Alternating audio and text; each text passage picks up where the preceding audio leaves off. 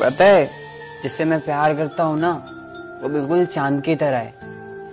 नूर भी है, गुरूर भी है, और मुझसे बहुत दूर भी है।